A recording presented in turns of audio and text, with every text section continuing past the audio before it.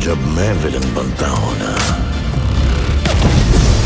Box অফিসে সব record ভেঙেছে জওয়ান বলিউডের সিংহাসনে যে শুধুই তার আধিপত্য তা আরও একবার প্রমাণ করে দিয়েছেন শাহরুখ খান দীর্ঘ চার বছর পর পাঠান সিনেমা দিয়ে চলতি বছর শুরুতে পর্দায় ফেরেন তিনি তার এই রাজকীয় প্রত্যাবর্তনের কথা কেউ ভোলেননি সেই ধারাবাহিকতায় জামান সিনেমার মাধ্যমে পর্দায় ফিরে বক্স অফিস কাঁপাচ্ছেন শাহরুখ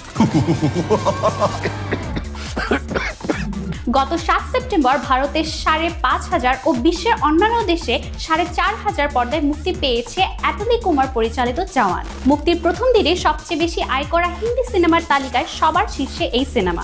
অষ্টম দিন পর্যন্ত শুধু ভারতে সিনেমাটির আয় তিনশো নব্বই দশমিক চার তিন কোটি রুপি। বিশ্বব্যাপী সিনেমাটির আয়ের রথ সাতশো কোটি রুপি ক্লাবের দিক ছুটছে।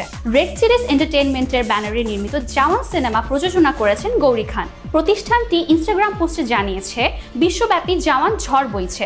বিশ্বব্যাপী সিনেমাটির মোট আয় দাঁড়িয়েছে ছয়শো ছিয়ানব্বই দশমিক ছয় সাত কোটি রুপি। বাংলাদেশি মুদ্রায় যা প্রায় নয়শো কোটি টাকারও বেশি। জওয়ান সিনেমায় শাহরুখের বিপরীতে অভিনয় করেছেন দক্ষিণী সিনেমার লেডি সুপারস্টার নয়নতারা ছবিতে স্পেশাল অ্যাপিয়ারেন্সে রয়েছে দীপিকা পাদুকোন এছাড়া অভিনয় করেছেন সানায়া মালহোত্রা যোগী বাবু একটি বিশেষ চরিত্রে রূপায়ণ করেছেন প্রিয়মণি হিন্দির পাশাপাশি তামিল তেলেগু ভাষায় মুক্তি পেয়েছে সিনেমাটি हम जवान हैं